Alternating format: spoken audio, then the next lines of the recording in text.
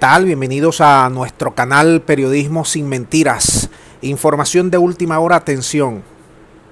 Vienen tres nuevos tanqueros.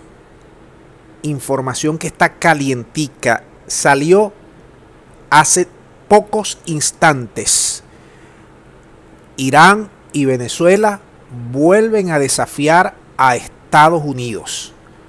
No lo estoy diciendo yo, está apareciendo calientico en medios de buena reputación y en inglés. Se dirigen tres nuevos cisternas de gasolina. Todo indica que es para Venezuela, pero ya fueron cargados. El Fox, eh, ya les voy a decir los nombres, ya fueron cargados de unos 800 mil barriles de gasolina en Irán. Y se supone que es para venir hasta Venezuela en los próximos días. Ya cargaron, tardarán entre 15 a 20 días en llegar aquí. La información está en pleno desarrollo. Los tres cisternas van a más o menos una carga de unos 800 mil barriles. La única duda que hay hasta los momentos es que ellos apagaron sus transponder, sus equipos de transmisión satelital están ahorita mismo apagados. Cuando se acerquen al canal de Suez, por razones internacionales, lo van a encender nuevamente y allí se va a saber exactamente si se dirigen a Venezuela. Pero son tres cargueros, te los digo de paso, tres cargueros que fueron los mismos que vinieron a finales de mayo a paliar la escasez de gasolina que había en el país. Fueron estos mismos tres cargueros. En ese momento fueron cinco. Los, los nombres de esos cargueros son Faxon, Fortune, y Forest. Estos tres vinieron en, el mes finales de mayo. Y están cargando otra vez. Forest, Faxon y Fortune. La información la está dando de manera exclusiva la empresa satelital Tanker Tracker. Tanker Tracker está dando esta información. Ellos están diciendo a sus clientes de manera privada ya la información trascendió que estas tres embarcaciones empezaron a, movilizarse desde Irán hacia un destino que todavía no se ha confirmado, pero que probablemente con muchas posibilidades sea Venezuela, dijo la empresa. Son 800 mil barriles, ahorita mismo sus transponder están desconectados. Esto confirmaría como el segundo envío a Venezuela en los últimos meses. Y esto es otra afrenta, otro reto que le lanza Maduro, que le lanza Irán a Estados Unidos. Hay que recordar, hay que recordar amigos míos, que recientemente se publicó una información referida a que Estados Unidos había incautado 1.1 millones de barriles de gasolina a Irán que venían para Venezuela. Días después se supo que era falsa esta información y que ahora está siendo demandada. Estados Unidos la desvió efectivamente, pero no era para Venezuela. No venía de Irán. Solo que Estados Unidos la desvió, la incautó está en Texas y ahora en, el distrito de Columbia, las empresas verdaderamente dueñas de esa carga están demandando. Nosotros tenemos un video completo donde está esa información. Ahora, a lo que voy, a lo que voy.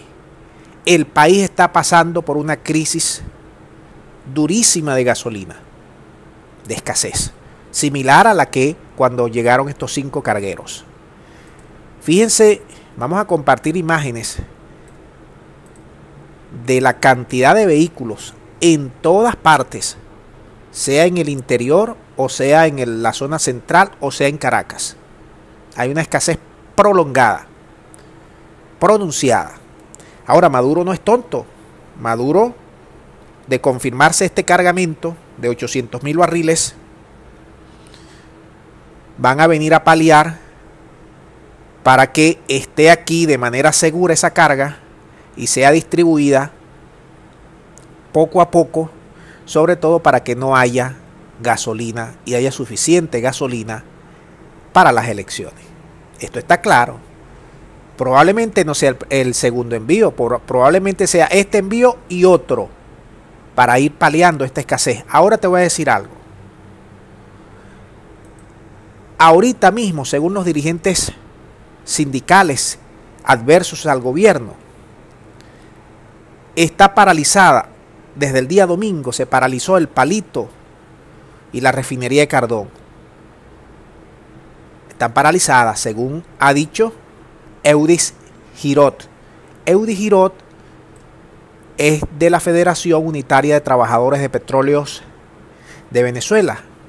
Y él en entrevista con el diario El Carabobeño decía que no hay gasolina en el país y que desde este domingo tanto Amuay como Cardón están paralizadas. O sea, Amuay y Cardón en Falcón y el Palito en Carabobo están paralizados. Dice Edwin Girot que Amuay venía, venía procesando unos 85 mil barriles día y Cardón unos, 350, unos 60 mil para un total de 145 mil. Perdón. Pero esto se ha visto truncado y no ha dado con las suficientes demandas que se supone que está entre 140 a 180 mil barriles día la demanda de todo el parque automotor de unos 10 millones de vehículos entre transporte, motocicletas y vehículos. Y esto es lo que está pues llevando a efecto esta escasez. Ahora yo te digo lo siguiente, ¿qué va a hacer Estados Unidos? De comprobarse en las próximas horas, en los próximos días, que estos tres cargueros con bandera iraní los que le incautaron la vez anterior no eran de Irán. Ya está suficientemente documentado esa noticia. ¿Qué va a hacer en medio de unas elecciones que el presidente Trump las está perdiendo por encuestas? ¿Va a enfrentar a Irán directamente para provocar un conflicto mundial? ¿Va a dejar que estos tanqueros pasen libremente para apalancar a Maduro y para que Maduro vaya almacenando gasolina para los venideros meses que son claves para las elecciones del 6 de diciembre? ¿Qué carta va a jugar Estados Unidos? Son algunas de las preguntas que ahorita mismo se están haciendo especialistas y gente ligado a todo este ajedrez político que hay en Venezuela. ¿Qué va a pasar si tenemos una escasez pronunciada de gasolina? Si las dos principales refinerías que tenemos en Venezuela, las, las dos principales, no están produciendo lo suficiente y tienen muchos problemas para reactivarse porque, como saben ustedes, estas refinerías tenían tecnología y aparataje e insumo del país del norte, que ha bloqueado todo tipo de envíos de productos, de insumos, de tercerización, y es Irán el que está rescatando esas refinerías. Pero eso cuesta tiempo, trabajo, esfuerzo, tecnología. Eso cuesta una reactivación y no parece haber suficiente tiempo para que estas refinerías estén al 100% y el mercado el mercado interno pues se restablezca. Maduro está jugando su ficha. Tener suficiente almacenaje de combustible antes de las elecciones. Para que no sea un foco de ataque por esa vía. Para movilizar a su gente por esa vía. Hay mucha tela que cortar. Nosotros estamos dando una información que está calientica y que está en pleno desarrollo y la vamos a ir monitoreando a lo largo de los próximos días para ver si efectivamente estos tres tanqueros, estos tres buques se dirigen hasta nuestras costas en los próximos días. Lo dejamos hasta aquí, espero sus reacciones, sus comentarios. Muchas gracias y será hasta la próxima.